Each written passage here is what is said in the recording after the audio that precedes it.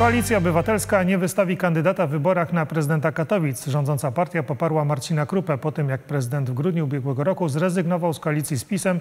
Platforma stała się jego głównym partnerem w Radzie Miasta. Wszędzie tam, gdzie dzieje się źle, będziemy walczyć o zwycięstwo i wystawiać swoich kandydatów. Natomiast tam, gdzie sprawy idą w dobrym kierunku, gdzie dzieje się dobrze, gdzie jest współpraca, gdzie jest zrozumienie, gdzie jest dialog, tak właśnie jest w Katowicach. Będziemy wspierać kandydatów i właśnie w Ka- w Katowicach wspieramy, popieramy Marcina Krupa na prezydenta Katowic, jednocześnie nie wystawiając swojego kandydata. Zawsze powtarzam, moją jedyną partią są Katowice y, i tak też zostaje. I każdy, kto chce pomóc temu miastu w dalszym rozwoju, jest zapraszany do tego stołu.